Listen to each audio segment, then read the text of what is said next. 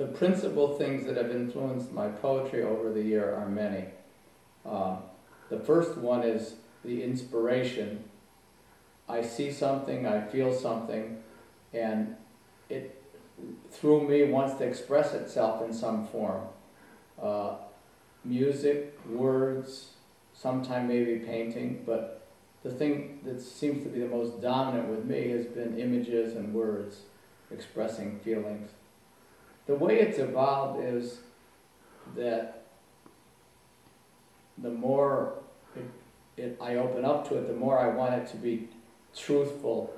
Instead of writing like to please someone or for an effect, I want the images and the words to convey something that I feel is, is a truthful or as close as I can get to being honest. And uh, hopefully through that realization there will be some transformation and people will become aware of something and I will become aware of something. So there's movement in the poem. Poetry is the best fit when it, when it clicks within you. Uh, poetry you can just do alone.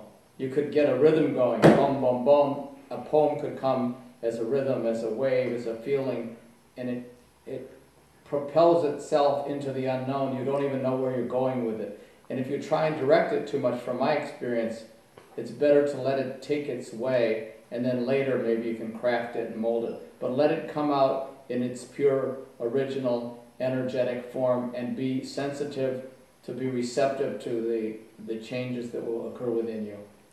Poetry, in its highest form to me, is not anything you write that rhymes or that has a poetic flow, but poetry in its best form to me is something that elevates human consciousness and the race, that inspires, that asks the question and opens up possibilities of the answers of what, why that I am alive. It's a dazzling, brilliant, incredible experience just to taste life, to experience it. And the poetry should be life affirming and bring out the richness and the best in all of us. Even when addressing a serious issue or a depression, get to the meat of it. What is it? What is it that holds you back?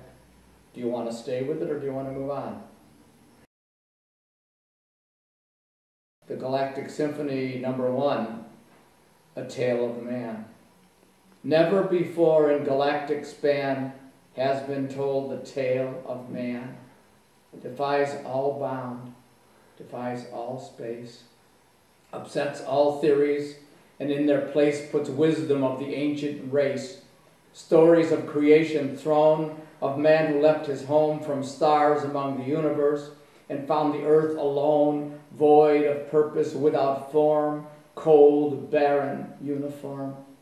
No room to differentiate choice from predetermined fate and save the world before it is too late. For mankind, since time has opened up its book for a solution to problems and savagery and terrorism looks, and each age has the answer, and each age the road will pave, and all our undaunted saviors lead us to that same grave. So where can we find salvation? Can we discern from the movement of the tree within the quake the presence or the power through which earthly things take shape? Can we know from the pull of the planet and the stars the life within the atom, the life we know as ours? Did man in his greatest age, through every prophet and every sage, ever calm the unstoppable rage, the ruthless destruction, the war, the hate, the cheating, and the lies? Did anyone stop the horror through the earthly wise?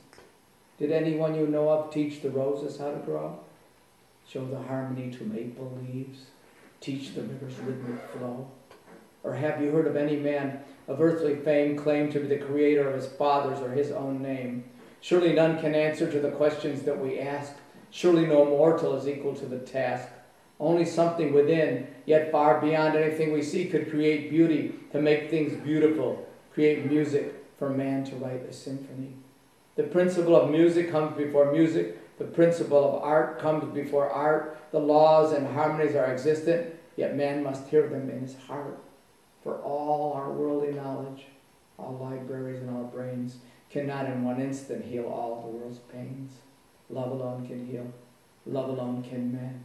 Love alone gives life meaning. Love alone gives life, anticipation for greater time.